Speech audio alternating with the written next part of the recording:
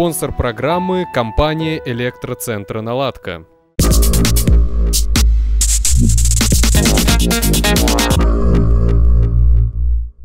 Программа «Репост» приветствует дорогих интернет-ТВ-зрителей в эфире открытого канала. Каждую и целую неделю наша скромная редакция изучает весь интернет за вас, видит там некоторое несовершенство мира и вместе с экспертами в студии обсуждает, предупреждает и тем самым вооружает дорогих интернет-ТВ-зрителей отформатированными смыслами. С каждым днем все радостнее жуть. В наших интернетах и или империушке, несмотря на, казалось бы, период повально отпускной сиесты, Сорокин и Пелевин давно пройдены, идет сплошной Салтыков-Щедрин и уже местами начинается Google. Отчетная неделя наблюдений стартовала с Питерского экономического форума, который сразу обозначил ключевые тренды недалекого будущего. Хлеба будет все меньше, зрелище за дополнительную плату, вероятно, и не одну. Особенность Российского экономического форума в том, что форум есть, а экономики нет – а вообще все, что нужно знать об этом форуме ежегодной пафосности, выражено одной картинкой. Ладно, двумя.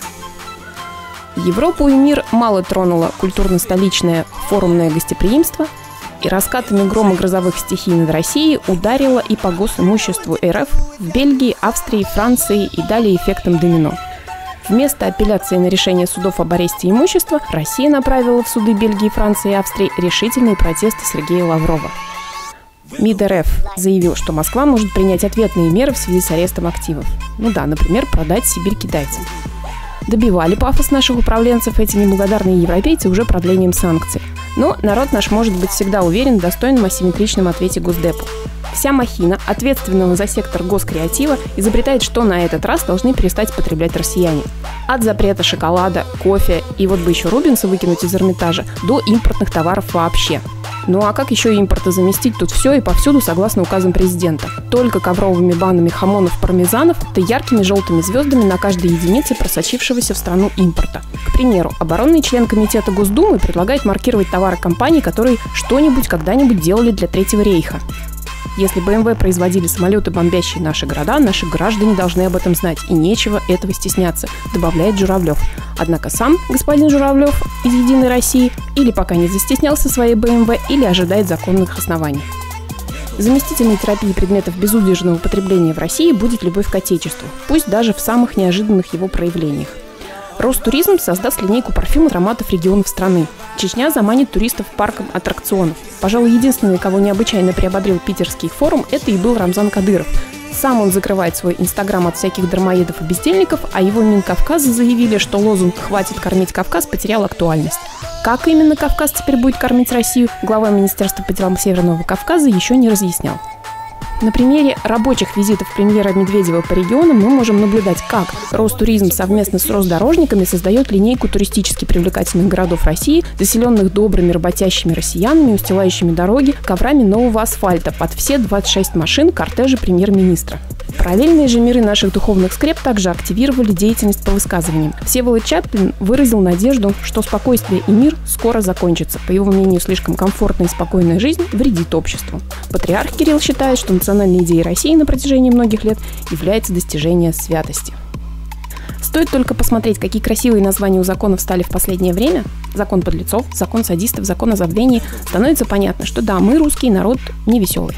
Вслед за депутатами отчаянно законодательного органа нашей страны подоспели и свежие замеры мнений россиян о роли санкций в могуществе державы и о проблемах киберунижения в интернете. Россияне из соцопросов – это вообще какой-то особенный народ. Например, они с воодушевлением желают без пармезана и хамона и дальше жить. И в общем и целом солидарны с возмущением главы Якутии тем, что не вступая ни в какие союзы писателей, пользователи интернета пишут, что хотят. В ожидании внесения Госдумы в УК РФ статьи «Публичное злорадство над органами власти» обратимся к экспертам сегодняшнего выпуска программы.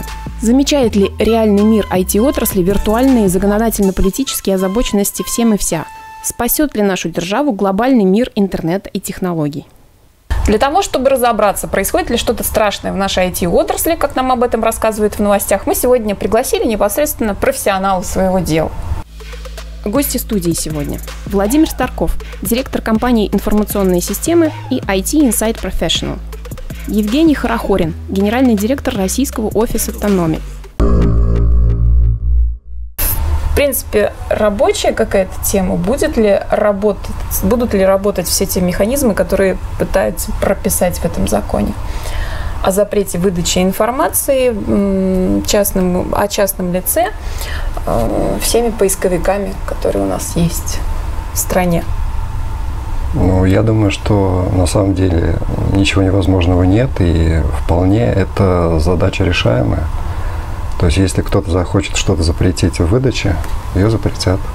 Не будет выдаваться какая-то картинка, какая-то ссылка на статью и так далее. Насколько облегчится интернет, вот весь объем интернета, благодаря тому, что, что какие-то белые страницы там будут вместо цветных, красочных.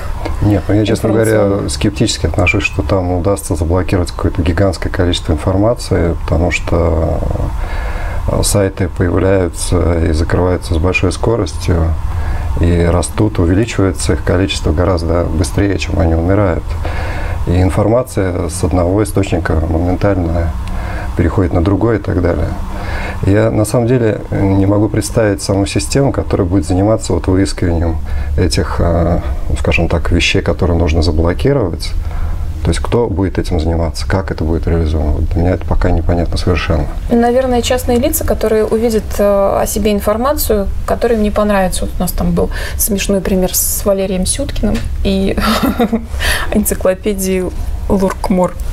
Вот нашла мама Валерии Сюткина информацию, которая ей не понравилась, что же заблокировали. Теперь вот и сайт решил немножечко приостановить свою деятельность в нашей стране. Ну, вы представляете, значит, кто-то будет целенаправленно сидеть с утра до вечера, выискивать информацию о себе, либо о своем клиенте и писать эти письма, запросы и так далее. Я могу так сказать, что в первую очередь мы на самом деле говорим о механизме вот этого удаления информации. Это не означает, что все 100% граждан Российской Федерации должны пойти и тут же себя запретить. Да? Но это означает, что если у тебя вдруг есть информация, которую ты по какой-либо причине хочешь откуда-то изъять, у тебя такой механизм есть.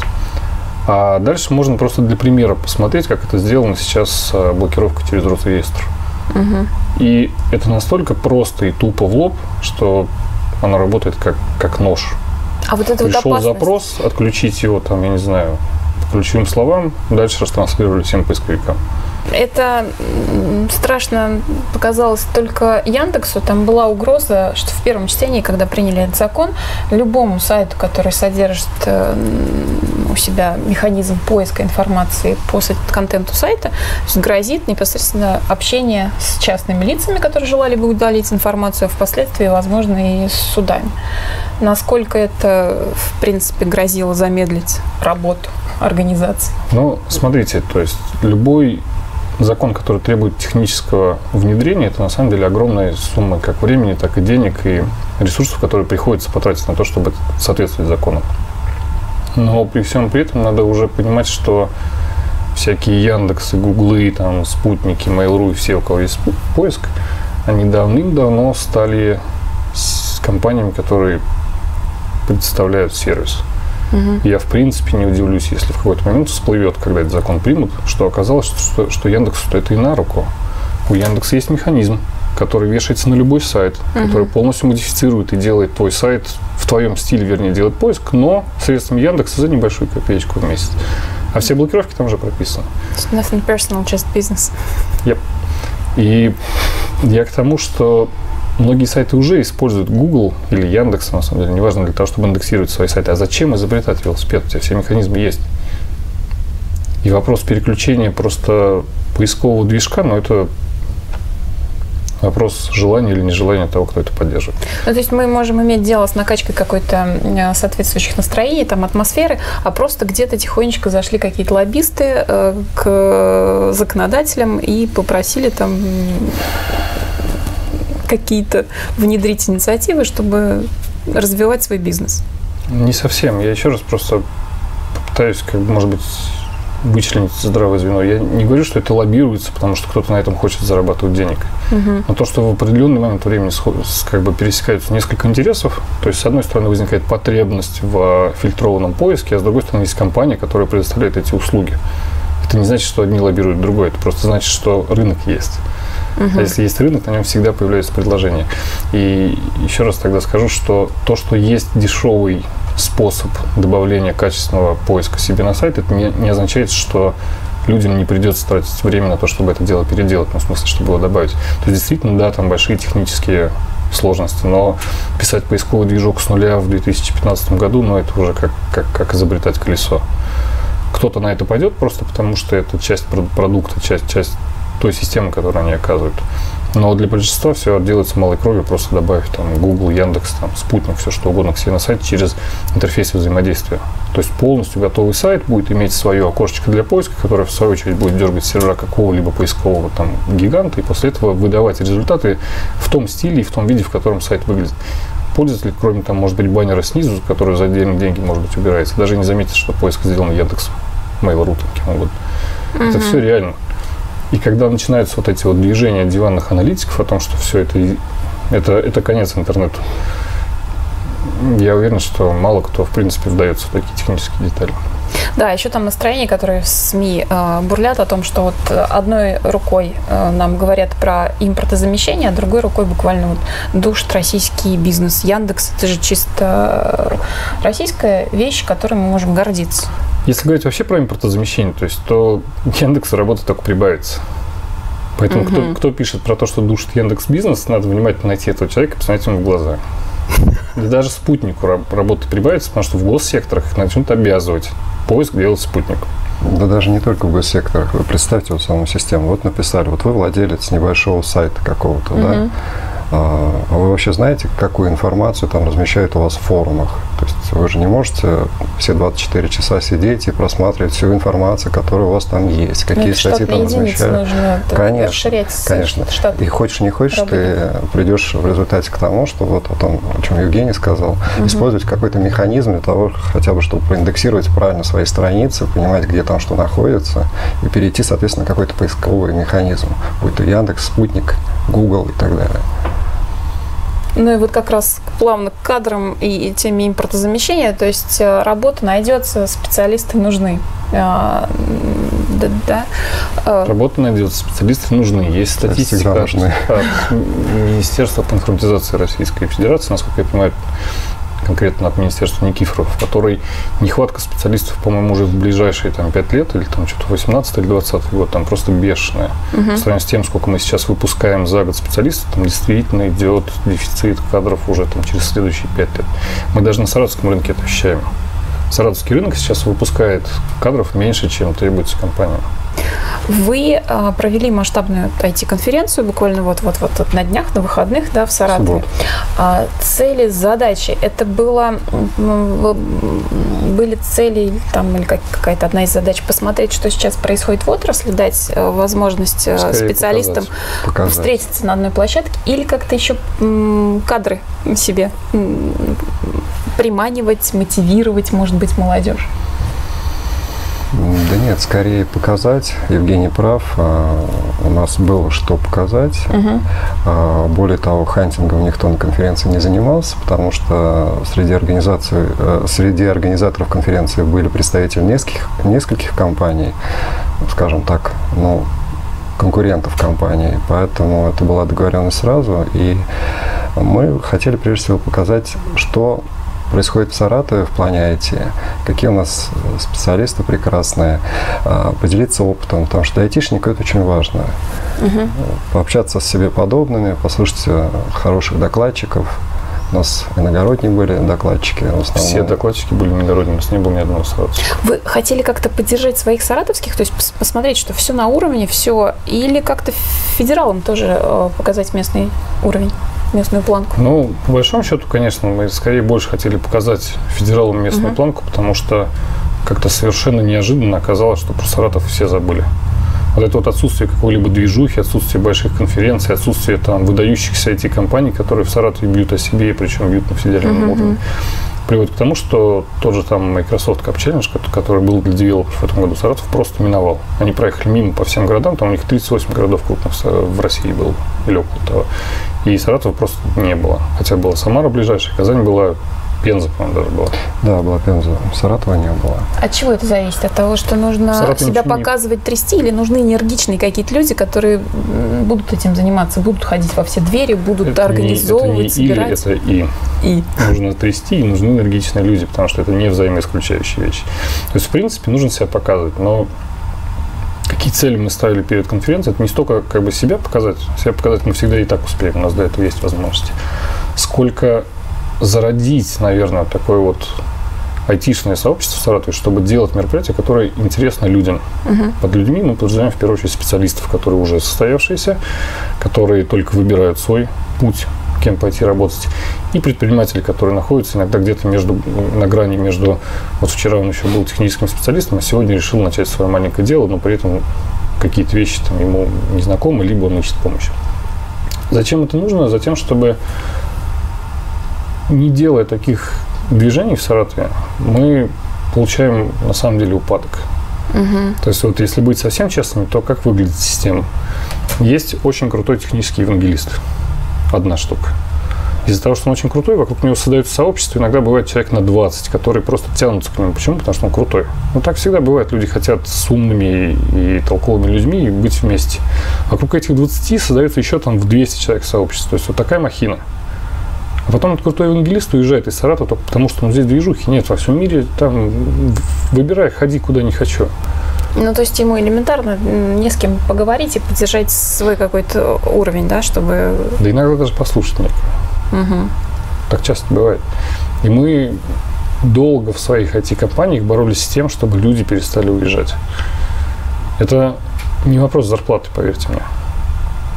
То есть, когда зарплата у сотрудника становится достаточно для того, чтобы не выбирать между Саратовым и Москвой с учетом накладных расходов на проживание, транспортировку, все остальное, то человек начинает выбирать именно условия жизни. Ну, а в принципе, это же сейчас, в принципе, интернет, все, э, всеобщий там доступ, это вот как-то можно быть, можно находиться, перенести свой офис, чтобы сократить издержки куда-нибудь там э, в, на восток, э, засесть в Таиланде, да, и работать на какую-нибудь Америку. Или, опять же, вот Беларусь у нас как-то так ну, неожиданно ну, выстроила. Там Вы на самом деле выстроила. рассказываете больше про фриланс, а Евгений говорит про центр разработки больших компаний. Это немножко mm-hmm. две разные вещи все же. Я убежден в этом. Абсолютно вот. А, потому что Беларусь у нас э, как раз лидирует, наверное, все-таки в плане фриланса, я думаю, да? Я не соглашусь с тем, что Беларусь неожиданно выстрелила. Это, скажем так, может быть, до нас донеслась эта информация, потому uh-huh. что раньше мы этого не знали. Uh-huh.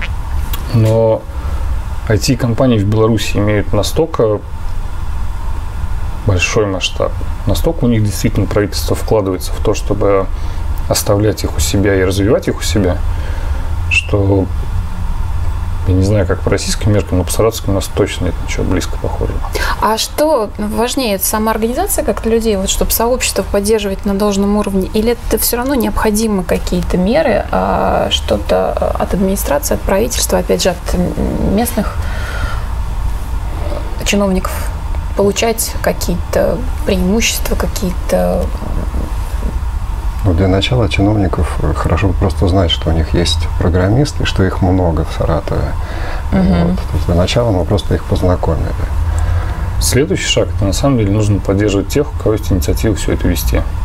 Потому что, как, как и любое другое сообщество, совершенно неважно из какой тематики, само себе сообщество не выживает без лидера люди всегда объединяются вокруг кого-то, кто это дело тянет, кто это дело развивает, кто это дело свое время вкладывает, и не только время иногда.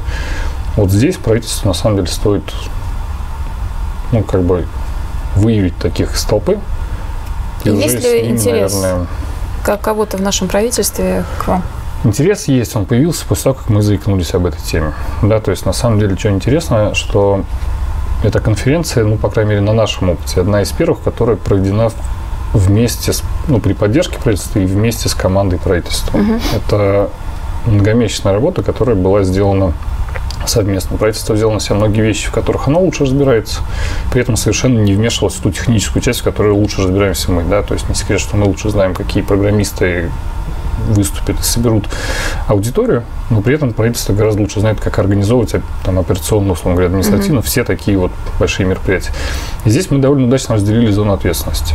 То есть мы взяли на себя там контент конференции, правительство помогло нам с помещениями, с, э, договориться там с Академией права, договориться там с какими-то ключевыми людьми и какими-то ключевыми компаниями, которые нужны для обеспечения там от жизнедеятельности, от безопасности до всего чего угодно. Ну, то есть здесь работал как единый механизм. От вас Именно. никто не требовал, вас ни в чем не ограничивали, Нет, не требовали, там, как, не диктовали какую-то волю э, там, Мы- политическую. мы- То, что касается очень Юкона, этого. да, то, что касается Юкона, было Мгм. приятно, что правительство исполнило именно те функции, которые оно вот предназначено для чего. да. То есть это помощь с помещением, с различными службами, там охрана, что-то Ну да, вот пожарные, эти все тонкости, почта они, и так далее. да, вот то, что должно быть. да.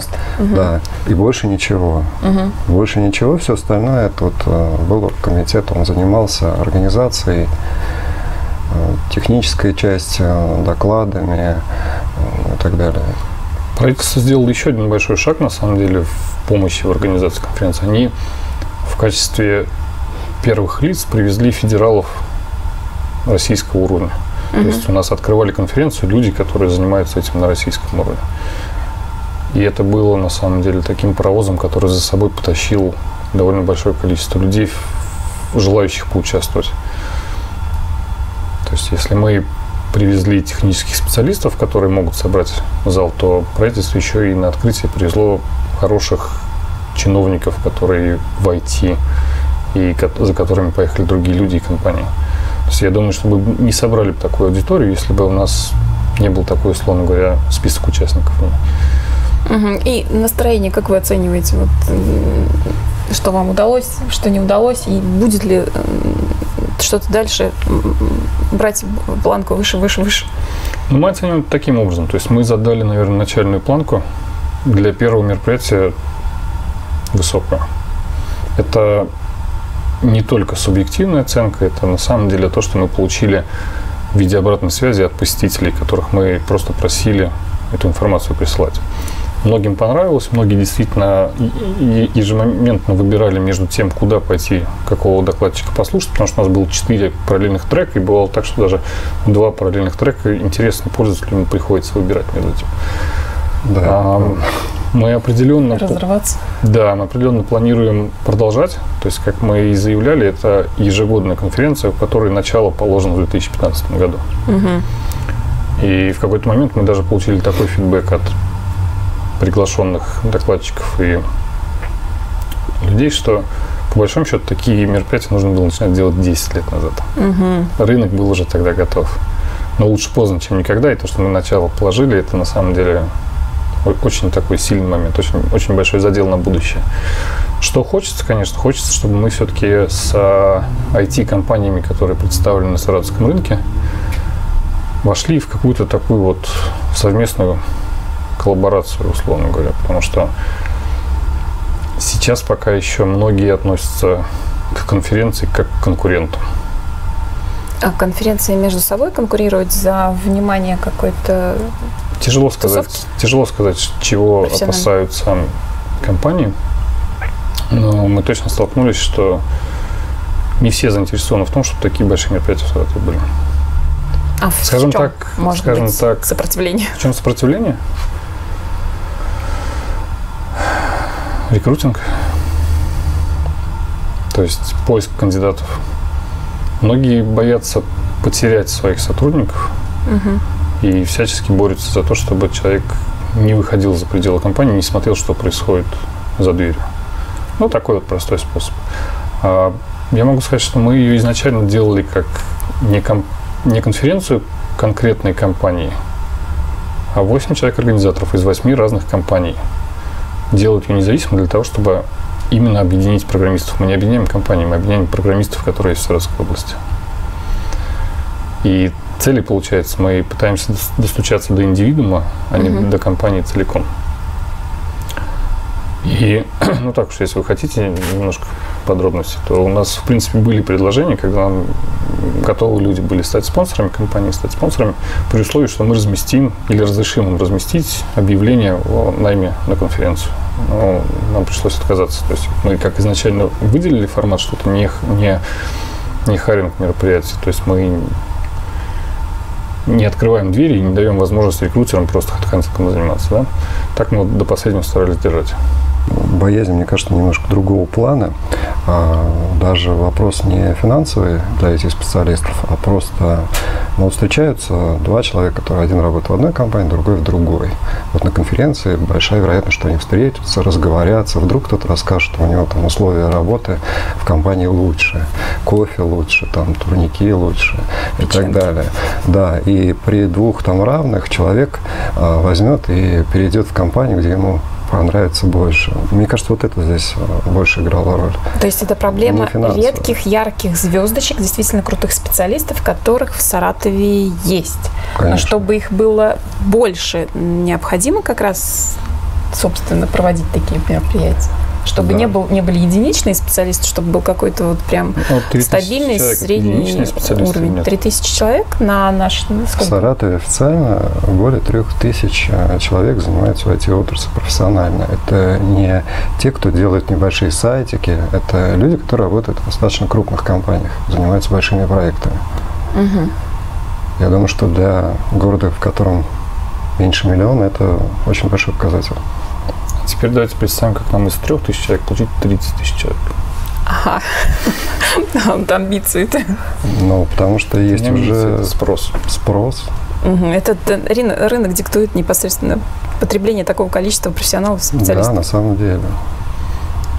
В России, которая, видимо, какое-то время сильно отставала от западных тенденций, сейчас начинается бум автоматизации, разработки всего и вся, начиная от госсектора до каких-то инфраструктурных услуг, до каких-то там а, молодых стартапов, которые имеют амбиции и выходят на этот рынок. Сейчас реально будет, ну, тут не надо загадывать, тут можно посмотреть на то, как происходило развитие в остальных странах. То, что я могу предвидеть, для этого ничего не надо просто проанализировать. То, что количество программистов будет расти, а спрос будет расти еще выше. Потому что уже сейчас нехватка каких-то базовых систем ощущается. Их нужно будет закрывать. Там тоже правительство начинает всякие внедрять какие-то единые базы данных, там вот эти пенсионные фонды, госуслуги, а, все, что с этим связано. Угу. Электронная очередь, там да, все такое прочее. Да, Банковский да. сектор сильно уходит онлайн. Всякие социальные сети начинают войти. Вокруг этого просто начнет образовываться экосистема, которая также потребует программистов, чтобы интегрироваться, автоматизировать, разрабатывать, там, получать своих клиентов, получать конкурентные преимущества, потому что не секрет, что именно там какие-то две компании могут отличаться наличием простых функций, которые реализованы. Реализованы довольно просто, ну или в каком-то случае, наоборот, сложно. Но конкурентное преимущество всегда придет к окупаемости угу. в большинстве случаев. Ну, это, конечно же, не, невозможно удержаться от этого вопроса. Да, политические какие-то процессы, которые у нас там происходят, они как-то способны помешать вот этим тенденциям? Или э, это будет отдельный какой-то виртуальный мир там по Пелевину э, где-то на облаке, а рынок продиктует свое? Рынок продиктует свое, только экономические факторы могут помешать политические сильно вряд ли. Экономические факторы – это когда вот некоторые когда компании завтра у всех работа закончится. вынуждены переносить э, свои там какие-то финансовые вопросы, юридические, за пределы юрисдикции Российской Федерации. Ну, смотрите, можно так сказать, многие федеральные, вернее, региональные бюджеты в этом году урезали. И это означает, что количество денег, которое планировалось на автоматизацию, тоже пропорционально ага. было урезано. За счет чего можно сэкономить, урезав бюджет, выкинуть то, что якобы не нужно. Ну или не настолько приоритет правильно? Ну, то есть процент э, госзаказа на рынке, он также для IT-сферы актуален. Это относительно какие цифры? Я думаю, что он, если не актуален один к одному, то его можно просто транслировать для того, чтобы понять картинку. Все компании живут по очень похожим шаблонам. То есть есть список потребностей, есть бюджет, выделенный на год. Ну, нужно понять, как в него уложиться и на чем можно сэкономить. Понятное дело, что максимальное количество денег сейчас тратят именно в IT компании, которые продают свои эти услуги, ну или с помощью IT продают свои услуги, да, там, начиная от электронной коммерции, там, электронные деньги, там, какие-то сервисы, без которых уже становится тяжело обойтись, они будут продолжать расти, они будут продолжать вкладывать деньги и нанимать людей, потому что, потому что они зарабатывают на этом денег. Uh-huh. То есть, казалось бы, совсем глупо прекращать развитие своего бизнеса, если он тебе приносит деньги. Но компании, у которых, условно говоря, я не знаю, там, айтишная инфраструктура – это всего лишь дополнительный сервис, они в большинстве случаев выбирают опцию сэкономить. Если в стране начнется экономический спад, а он на самом деле признаки его, к сожалению, уже видны, то вот это может повлиять на сокращение развития. замедление развития, а не сокращение, конечно. А политические вещи могут только поспособствовать экономическому спаду. Ну, если заглядывать в будущее, там у нас э, отрицательные какие-то сообщения и мемы говорили про интернет 2018. Вот ваше видение, прогноз, картинка. Отрасль 2018. Ну, у меня на самом деле очень замечательная картинка, потому что вот этот парадокс Саратова, я с ним сталкивался достаточно давно, когда приезжаешь в Москву, и там не знают, что в Саратове есть программисты и так далее. А сейчас стали обращать внимание именно на саратовских специалистов, потому что смотрите, какой перекос у нас существовал до этого, до этого времени. Все заказы фактически делались через Москву, Поэтому лучшие специалисты пылесосились и уезжали в Москву. Угу. Дальше все эти заказы спускались вниз, и они исполнялись. Теперь этих заказов просто становится меньше от государства в том числе. Понимаете? А саратовские компании, саратовские эти компании, они изначально, э, ну, скажем так, не занимались этими госзаказами в основном. Они работали сразу э, на Запад. Угу. И теперь вот у саратовских компаний, наоборот, мне кажется, появляется шанс работать в том числе и на российский рынок, потому что ну, уже все есть, все, все запрограммировано, все продукты созданы, опробованы на мировом рынке. Берите и замещайте. Это у меня очень хороший прогноз, на самом деле. Разделяйте. Ну, я, может быть, прокомментирую в такое в дополнение к тому, что Владимир сказал. Если говорить про интернет или вообще технологии времен 2018, то это в первую очередь повсеместный доступный интернет везде. Под этим подразумевается то, что сейчас называется интернет вещей. Это вот парадигма, когда не просто человек обращается к компьютеру для того, чтобы там заменить бумажную почту на электронную. На самом деле, то, с чего начиналось. Либо посмотреть прогноз погоды, потому что тоже быстро. А интернет становится из, переходит из разряда развлекательных информационных услуг, он переходит в такой некий канал, вокруг которого строятся сервисы для жизни. Вот ключевое слово – сервис для жизни. Не секрет, что сейчас просто это очень популярная тенденция во всем мире, и она все больше и больше приходит в Россию. И то, что я вижу, там развитие огромнейшее. А плюс к этому мы тут недавно получили информацию от аналитиков. Не знаю, насколько ей можно верить, но есть такая теория, что к 2020 году 95% это всего через 5 лет. 5, я в камеру покажу. 95% а, систем, которые обслуживают бизнес, будут написаны в течение этих пяти лет, следующих пяти лет означает, что они еще не написаны совсем. То есть парадигма меняется, все будет переписано. Если не с нуля, то будут созданы совершенно новые сервисы, которые принесут новый потенциал и новые возможности.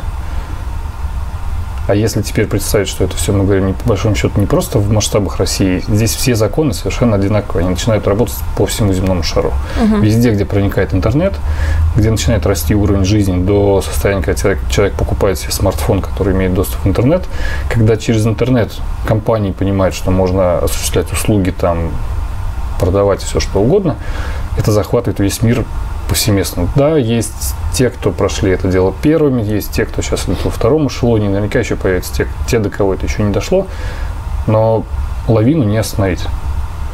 И количество услуг и спрос на них, он будет расти просто колоссально. Мы это точно видим, точно знаем, потому что активно общаемся со всякими европейскими, американскими аналитиками в том плане вообще, куда все это движется. И пока их прогнозы сбываются. сбываются. Будет расти количество онлайн-продаж, то, что они говорят. Будет расти количество сервисов, будет расти количество программных продуктов, которые будут рождены вот в эту пятилетку. Угу. Почему? Потому что ну, тут даже как бы подтверждение очень простое. У многих крупных компаний до сих пор настолько старые легаси-системы, которые были написаны там, не знаю, в промежутках от 70-х до 90-х. И они сейчас, если не переписываются, то хотя бы просто поддерживаются на плаву. Но парадигма меняется. Парадигма общения пользователя с компьютером, пользователя с поставщиком услуг, и вообще пользователь с пользователем, она на самом деле настолько кардинально поменялась вот за эти 10 лет, что хочешь выжить, придется переписать. Что ж, и снова мы нашим дорогим интернет-тв зрителям доказываем, что будущее есть, в него можно смотреть с оптимизмом, и текущие процессы, настоящее говорит нам об этом. Но и от себя добавлю, завязывайте со стикерами в Одноклассниках, не вкладывайте туда все свои средства. Спасибо большое за сегодняшнюю беседу. И финальная открытка сегодня – Каала Паэльи недели.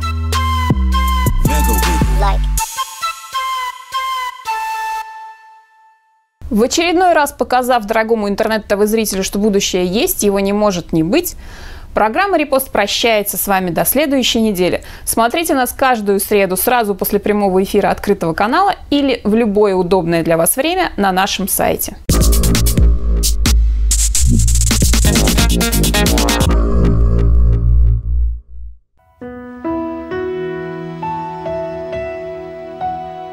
Спонсор программы – компания «Электроцентра Наладка».